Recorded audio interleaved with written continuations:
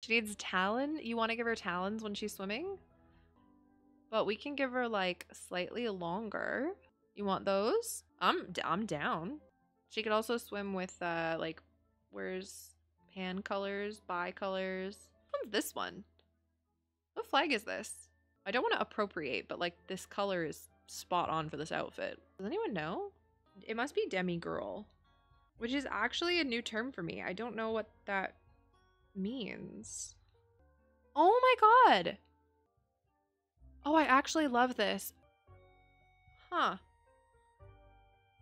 So a demi girl, also called a demi woman, demi female, or demi lady, is a gender identity describing someone who partially identifies as a woman or girl, in addition to feeling partially like a woman, like a girl or woman, feels partly outside the binary. That can include anything under the non binary umbrella. Demi-femme is a superset of demi-girl. It's for someone who isn't comfortable with using the gendered term in their gender label. Oh my god. Sorry, I'm like having like a queer moment.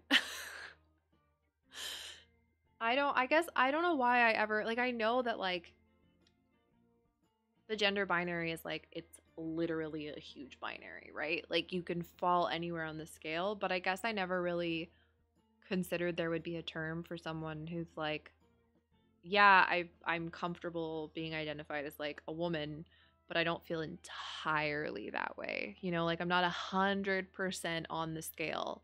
You know what I mean? Like I fall at like 85.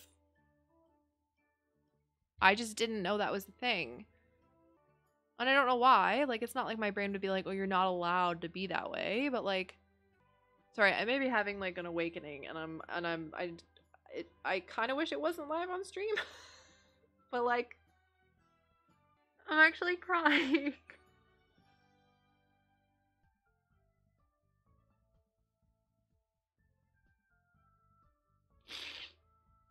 I always like don't want to be like I don't really identify as like non-binary and I always felt like I wasn't I didn't want to take up a space that wasn't for me. Like I'm I'm happy being feminine and being I don't it doesn't bother me to be identified as a woman, right?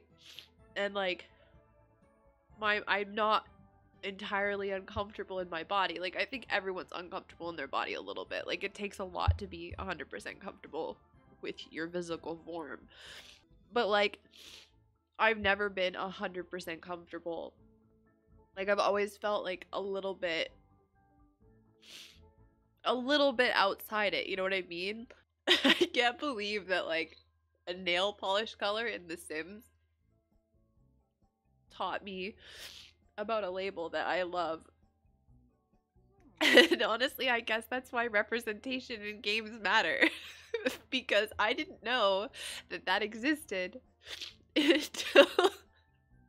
saw freaking nail polish color and said, What is this? I don't know. Yeah, happy pride. Couldn't have figured this out on the 9th of June, because then it would have been a 6 9. Damn it.